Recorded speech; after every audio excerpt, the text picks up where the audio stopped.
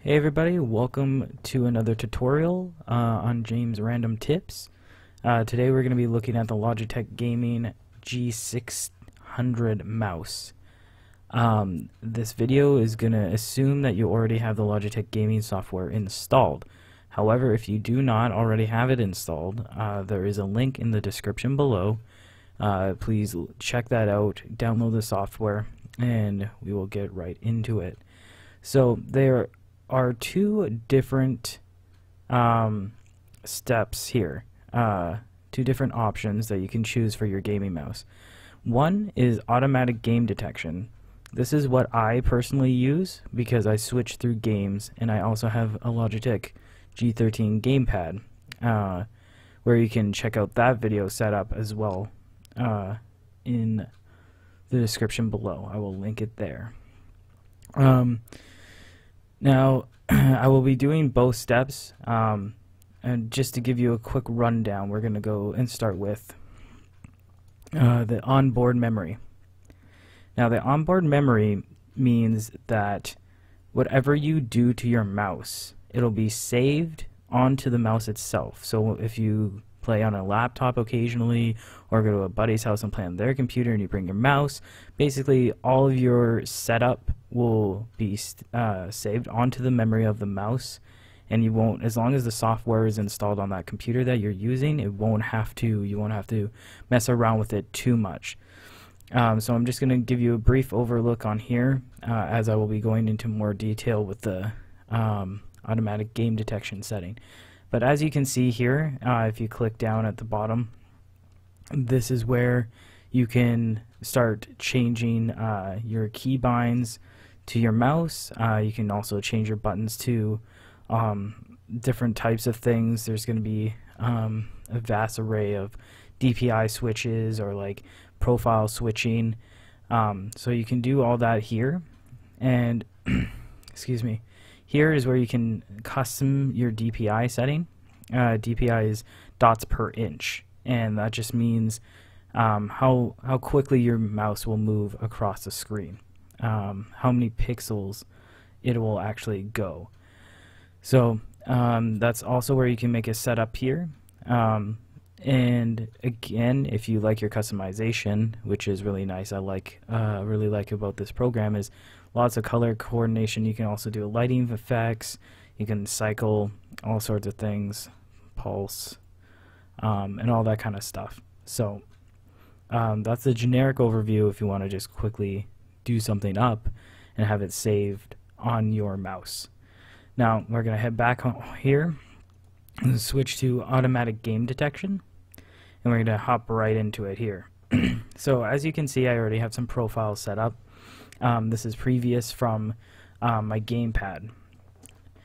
Now what I have set up here uh, we're just gonna let's see alright so what I have right now, as you can see, is I have World of Warcraft selected. And this is my setup for World of Warcraft uh, keybinds. Um, basically, it's instead of it's just modifying using shift plus a number. Um, you can use basically anything that's not bound in WoW, or if you want to change keybinds. Uh, for example, the num number pad works great. You can use all those buttons where um, and excuse me, all that kind of stuff. Um, so don't be afraid to try different keybinds, whatever works for you. I mean, um, there may be some issues if you have a keyboard that has like certain function functionalities where you hit a certain key and it may do something else. Um, just be aware of that. Um, also, the shift uh, modifier doesn't work in every game, so you may want to double check what game you're running, and if it even accepts it. Um, that's when you would probably want to use the number pad. So we're just gonna just gonna show you here, really simple. Um, I'm just gonna make this unassigned for now. So if you want to set up a keybind, you basically you can right click it or you can double click it, doesn't matter. Um, and it'll bring up this menu. Here it's really simple. You can just choose whatever you want. So I'm gonna go shift 1 and bam, it'll show you. You can change the name of it if you want. If it's a, very specific uh, command that you want to make sure that you know that's what it's for, you can change the name there.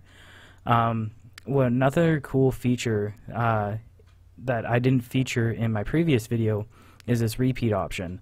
Um, it kind of acts like a spammer. It's good for MMOs. Um, most games, uh, including World of Warcraft, uh, don't mind spammers as long as it's not uh, done by a robot or anything like that. As long as it's a person pressing the key, they're generally okay with that.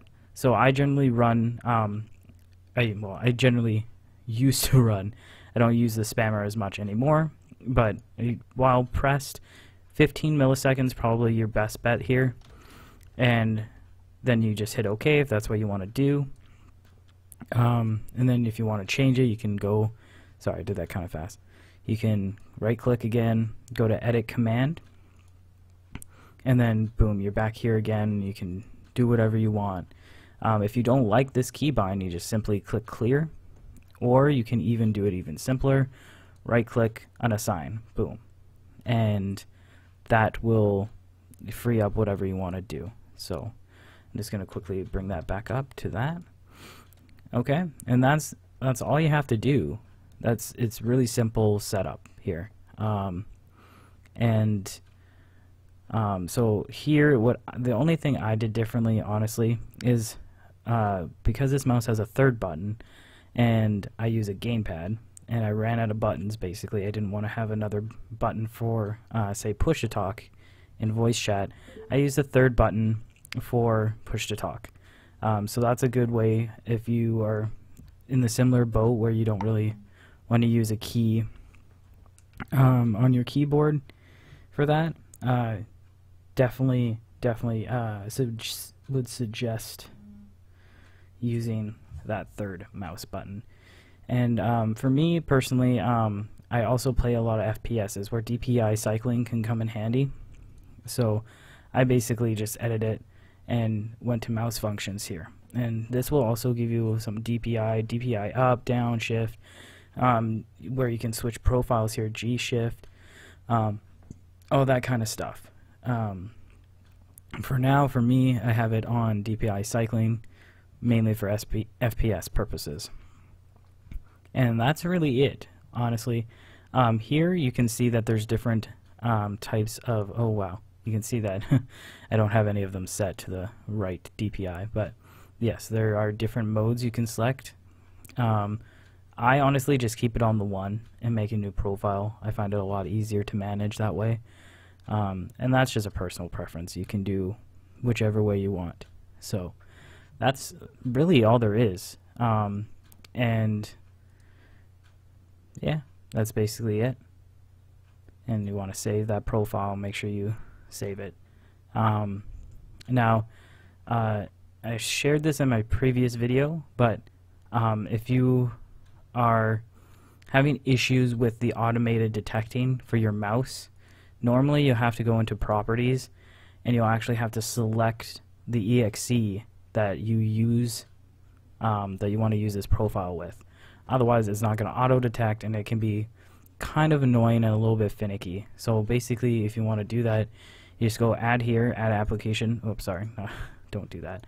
Uh, choose application, and then you go through your your um, go through your stuff, find it. I have it in my games here, uh, World of Warcraft, boom. And then you just select that, open it up, and it'll appear here. So whenever you hop into the game or load the game, it should automatically detect that that's the game you're running and that's the profile it'll select for your mouse. Um, so we're going to move on here. Now here is the DPI settings. This is completely up to you. There is no real good way of doing this. Um, it's all about personal preference. For me, I tend my screen has a really high resolution, so I tend to need a little bit higher DPI, say, than the average user. I run a 1440p 27-inch monitor, so it's quite big, lots of resolution, and so I run a higher uh, DPI. Now, the one thing that you do want, you you will want a, the highest report rate here, so you want to make sure that's selected. Uh, it just means it's a little bit more accurate. Um, now, if you want to normally, I believe this starts off with a default one or two. You can just simply add more by going uh, cycling through here. Um, and so these are my settings. Excuse me. Um, I think the stocks are normally at 1600 DPI, which again is pretty no normal. It's good for most people. Um, but yeah, you can easily just select this. You can scale it through this way. Um, it's totally up to you. Um, and the interesting thing is, is you can actually choose here which one you want to be your default when you go to that profile. Um, so currently I have the first one set um, as default and as you can see if I hit default little diamond here hovers over it. Um, I'm gonna be completely honest I don't really know what assign shift does. Um, if you know or have a little uh, if you want to uh, mess around with that a little bit go for it and uh, please leave a comment and let me know because um, again I haven't really looked much into it. So and that's how you assign a default. Um, now here advanced options, uh, enable per profile pointer settings. Now this is where I basically have it so it only goes per profile. It's not generic DPI across all my profiles. Um, you can e simply do that and it won't, the DPI will just stay as to whatever you want on every facet that you're working on, whether it be your desktop, your any game, MMO, FPS, all that kind of stuff. Um, me personally, I really like to have it set to a specific profile so I know um, if something has changed or if maybe the software isn't working correctly, I can diagnose that problem. So that's basically it for DPI settings. Um, and if you feel like I've missed anything in any of what I've told, uh, spoke about today, uh, already, uh, please let me know. Um, so yeah. Now we're going to move on to the fun stuff. Again, great customization. Um, I really enjoyed. I tend to pick colors that associate with the game I'm playing. So again, I can check my, I can look at my lighting on my mouse if I don't have this open, say, and I can see if it's on the correct profile or not, which is really nice. So um, I'm just going to give you a little quick rundown. You can choose whatever color you want. You can customize it this way, this way. Um, Let's uh, let's just go with a nice orangey color. And those junk. That's very brown. That's not very orange. And then let's see. And then boom. You can also choose the uh, darkness and brightness of said color. Um, and again, I have it set to enable per profile backlight settings. So you can uh, disable that, have it across your entire thing, and uh, it won't ever change. Um, some really uh, interesting little things is these lighting settings, lighting effect. Um, basically, cycle lighting, as it shows here, it just cycles through some colors. There's uh, no real thing to it. Pulse lighting, it will keep your color that you selected, but it'll pulse in and out, and you can actually change the uh, the the speed of which it does it. It can be really slow, really fast.